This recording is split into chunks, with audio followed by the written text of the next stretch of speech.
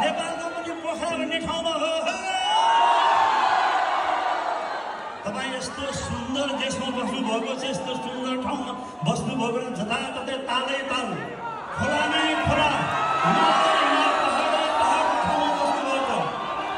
यो ठाउँमा यहाँको भाषा यहाँको संस्कृति यहाँको संस्कार र यहाँको मान्छेहरूलाई सम्मान गरेर बसिदिनुहोस्।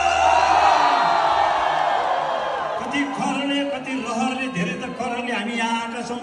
कतिजना रहरले पनि आएर यो ठाउँमा हामीले उनका सबै चिजलाई सम्मान गर्यो भने उनले पनि हामीलाई सम्मान गर्छन्।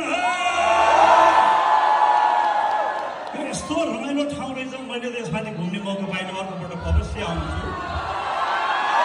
तपाईँहरू यहाँ मौका बेला मिलेको बेलामा घुम्न जानु होला। अनि यहाँका साथीभाइहरूलाई लिएर नेपाल पनि घुम्न आउनु होला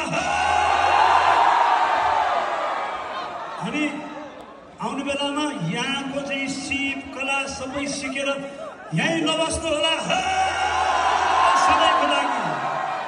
यहाँ सिकेको सिपले यहाँ सिकेको धनले यहाँ कमाएको आर्जन गरेको धनले एक दिन हाम्रो हिमाललाई बनाउनु पर्छ। अनि घुम्न आउनुहोस्। भन्छ नि घुमेको चिज नजरमा रहिबस्छ रे। खाएको चिज हराएर गइजान्छ। है?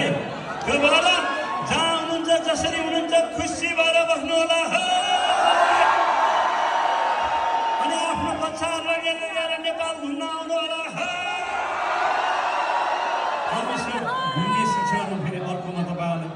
भर्खरै मुस्ताङ रयन जोनसन अब म यहाँहरूलाई रुकुमतिर लिएर जान्छु। हुन्छ?